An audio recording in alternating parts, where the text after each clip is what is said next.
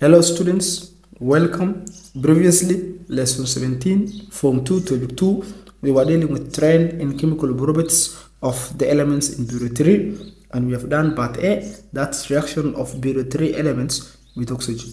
So today we want to go to lesson 18 where we are going to proceed to the second trend in chemical properties of elements in period 3, that is reaction of period 3 elements with water. We are saying we are going to start with the first member of uh, period 3 elements, which is sodium. And we are saying sodium reacts violently with cool water to form sodium hydroxide and hydrogen gas. Learners, remember, we said when a metal is dissolved in water, we form metal hydroxide and hydrogen gas. So sodium plus water, we get sodium hydroxide and also hydrogen gas. To write the balanced chemical equation, we are going to have 2 mole of sodium, which is solid. We are reacting or we are going to add 2 mole of water, which is liquid. We are going to get 2 moles of sodium hydroxide, which is aqueous, and also 1 mole of hydrogen gas to balance the equation. So next we go to the second element, that's magnesium, and we are saying magnesium reacts very slowly with cool water to form magnesium hydroxide and also hydrogen gas. To write the reaction, we are saying magnesium plus water, we get magnesium hydroxide and also hydrogen gas. This is the balanced chemical equation. Magnesium solid will react with 2 mole of water, which is liquid, giving us 1 of magnesium hydroxide, aqueous, and also 1 of hydrogen gas. Next, we are going to see aluminium, and we are saying aluminium does not normally react with cool water or steam due to the presence of a coating of aluminium oxide, which prevents any reaction. However, at temperatures above 700 degrees Celsius, steam can react with aluminium. And we are told due to its apparent inability to react with water, aluminium was preferred for making cooking vessels such as burns and also sufurias. And we're saying in general, the reactivity of the metals with water decreases from sodium to aluminium. That means sodium, next is magnesium, next is aluminium. That's the reactivity of the metallic elements of period 3. So saying sodium is more reactive because it loses its valence electron more readily, more readily than magnesium and aluminum. That means sodium is having a higher tendency of losing its valence electrons when compared to magnesium and also aluminum. Next, we're saying non-metals do not displace hydrogen from water. Therefore, silicon, phosphorus, and also sulfur do not react with either cool water or steam. And we're saying argon is unreactive. So chlorine is an exception since it dissolves in water to form chlorine water, which is a mixture or a combination of hydrochloric acid and also chloric acid. So to write that reaction, chlorine plus water, we get chlorine water, which is a mixture of hydrochloric acid and chloric acid or hypochlorous acid.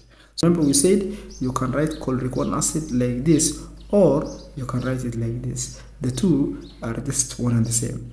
So next we are going to see the third, that's reaction of uh, period 3 elements with dilute acids. We start with sodium. We are saying the reaction between sodium and dilute acid is explosive, hence should never be tried or attempted.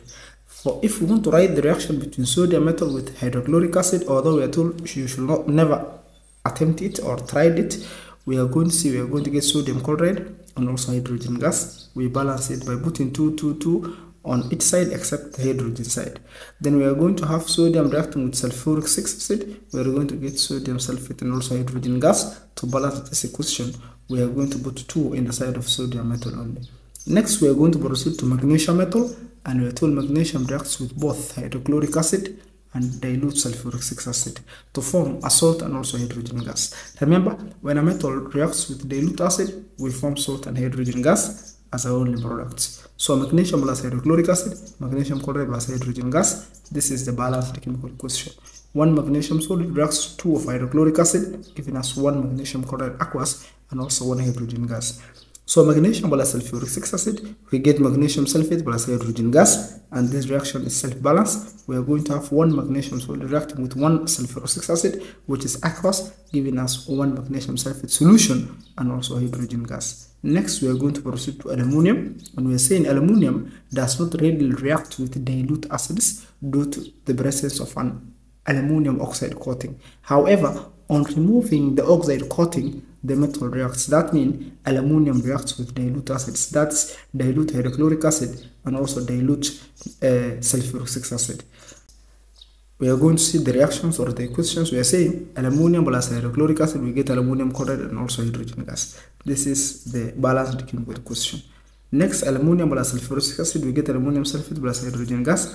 And this is the balanced chemical equation for that reaction. Next, we are going to proceed to the non-metal side. We are saying silicon, phosphorus, sulfur, and chlorine do not react with dilute acids because they cannot displace hydrogen from the acid. And last, we are saying argon is unreactive. Therefore, it's not going to react with dilute acids. So table 2.14 gives a summary of reactions of elements of period 3 with air, that's oxygen, water, and also dilute acids. So let us see that table and this is the table that we are talking about.